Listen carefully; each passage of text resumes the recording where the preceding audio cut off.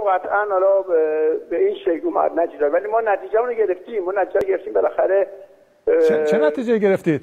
ببین نتیجه گرفتیم تیم جوانان خوب پیدا کردیم. نه چه نتیجه آیا شما یه نسل از فوتبال ما الان عقب افتاده. ما جام جهانی ترکیه دست دادیم. چه نتیجه گرفتید؟ چه فایده داره؟ شما 6 تا به کویت زدید چه فایده چه به درد مردم می‌خوره؟ ببینید بالاخره اینها با تو اون مراحل میومدن جلو باید بازی می‌کردن و مقدماتشون میومدن جلو.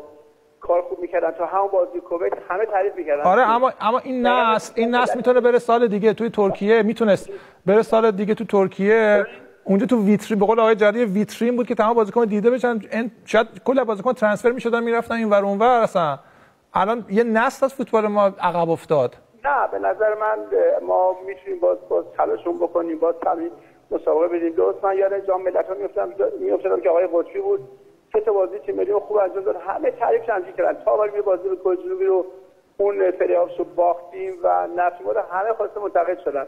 ما این کار نکنیم ما این الان شما شما تیم نوجوانانتون تو نیمه نهایی باخت. هیچ کس از انتقام گفتن تیم رفت جام جهانی. شما سال دیگه می‌تونید تو جام جهانی اونجا جبران موافقت کنید اونجا اعاده حیثیت کنید از فوتبال ما.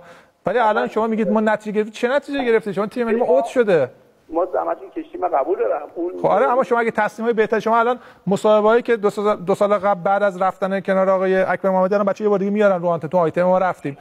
یه بار دیگه مصاحبه شما اصلا اون موقع اصلا حتی میگم جرأت این که بلافاصله بعد از اون مسابقات بگید که اکبر محمدی شو سرمربی تیم ملی اینو نداشتید. شما یه چند ماه یکم در واقع فرصت برای خودتون خریدید.